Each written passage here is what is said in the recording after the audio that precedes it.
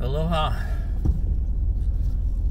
Heading home. Stopped at J Hara.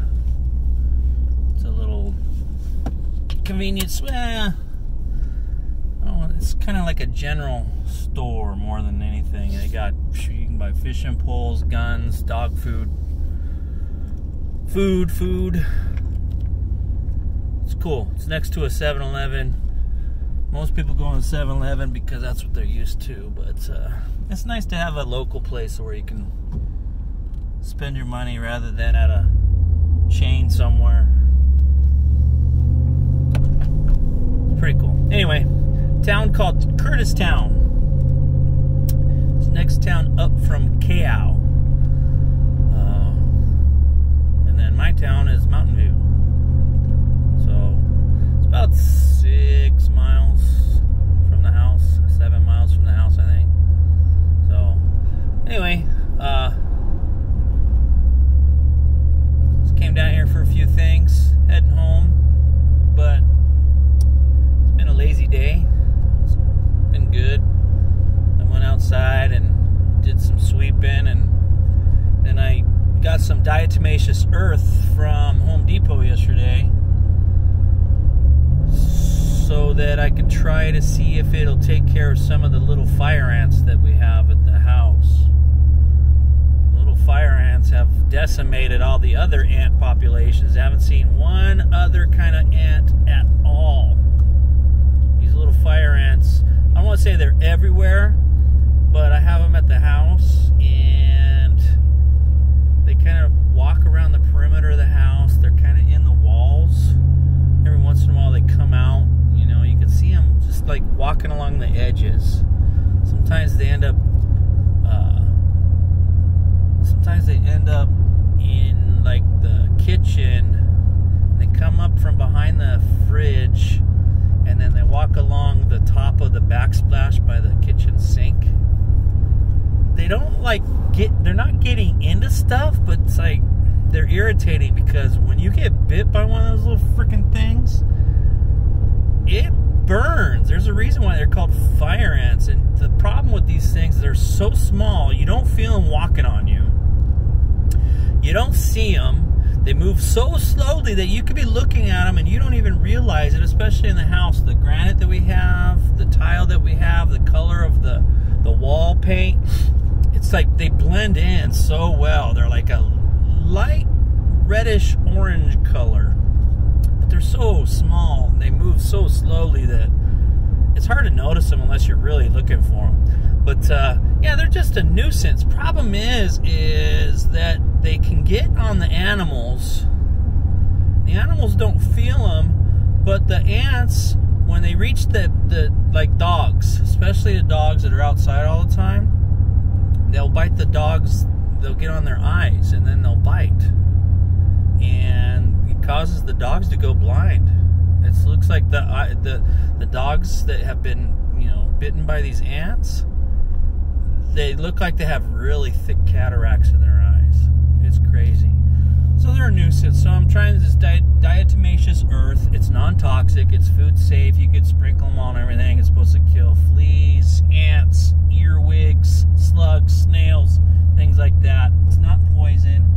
I guess what it does is it's like really fine powder. It feels like talcum powder, but um, I think it's like a microscopic crystalline form or structure, and it gets on these bugs. I think it cuts them, it gets in their system. I don't know what happens, but it ends up killing them. So hopefully we can get these things under control. Well, they're under control, but get rid of them. Just tired of them. So we'll see what happens.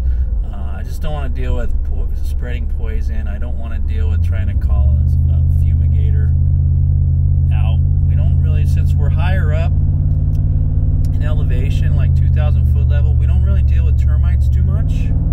I haven't seen one. My neighbors have never had a problem with them, but uh, I don't want to deal with termites either.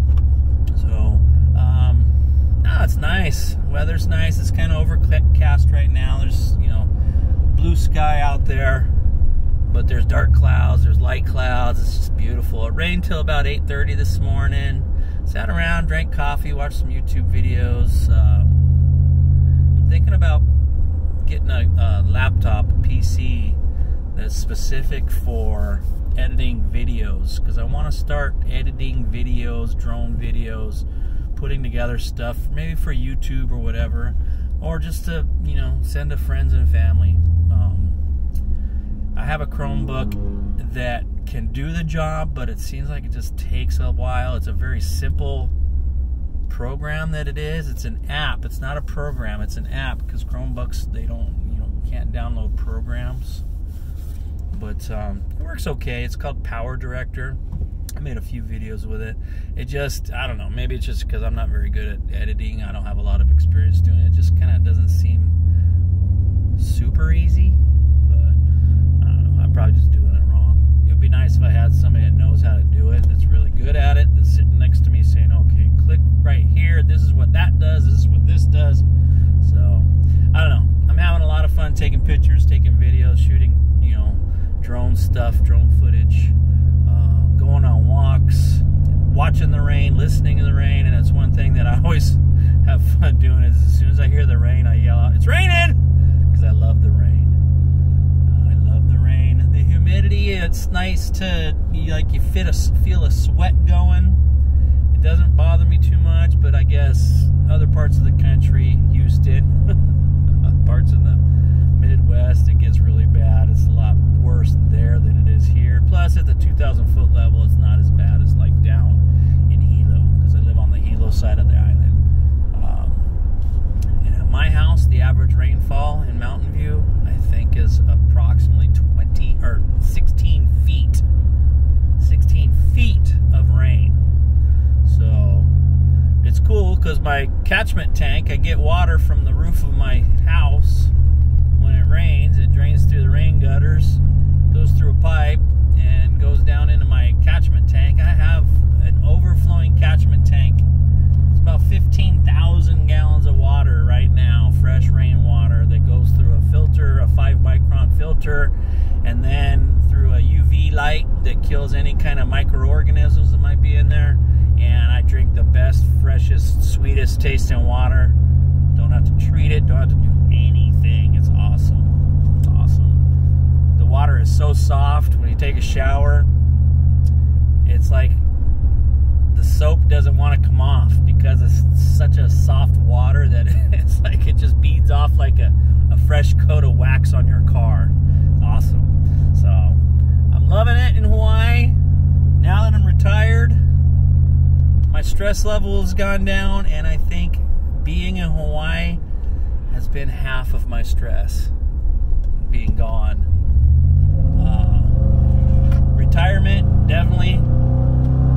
Stress level has gone down with retirement, but also not being in California anymore. The stress level here in Hawaii is hard to describe.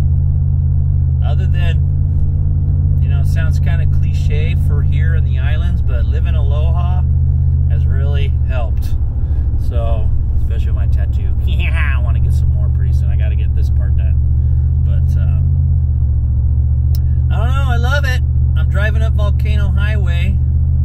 And probably about, I think, right here where I am, Volcano, the, the park in Kilauea entrance is about 13, not 12 miles from here. I just passed mile marker 16. The entrance is just past mile marker 28. So 12 miles away is the Kilauea Volcano Caldera.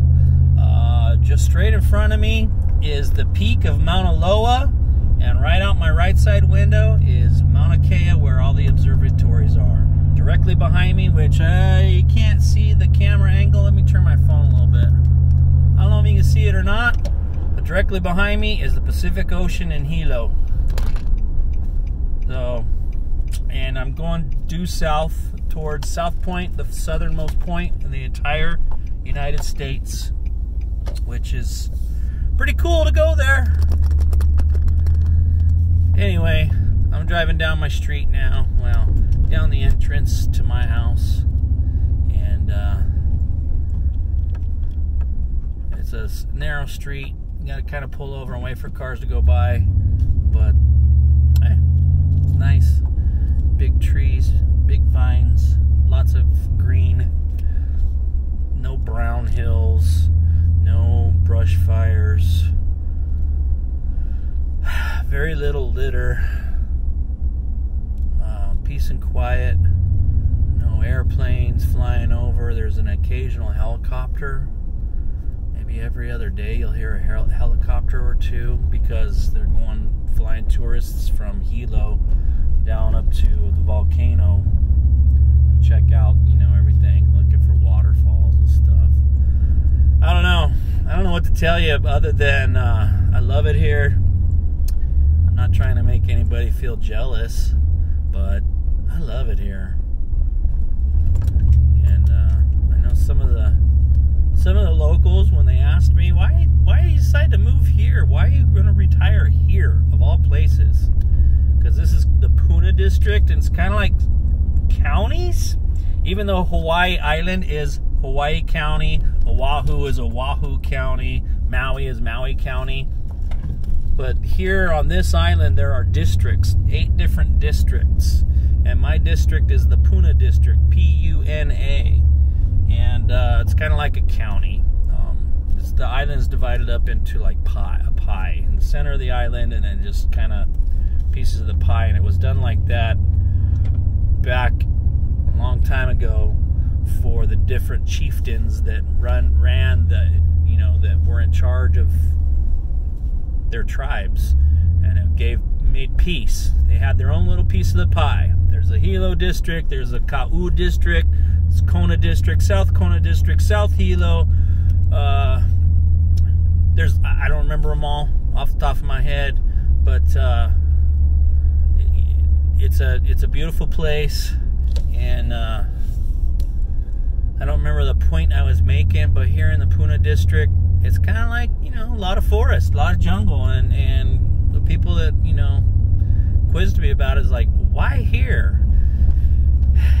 because this is paradise to me.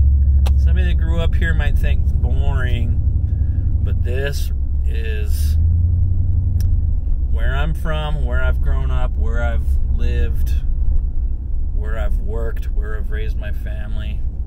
I appreciate all that, but this place is so much more enjoyable and stress free that I can't think of a better place to be. Can't think of it. So, anyway, I appreciate you guys going on a ride with me. I'm home now, so I'm gonna have to sign off, say a hui hou and uh, aloha.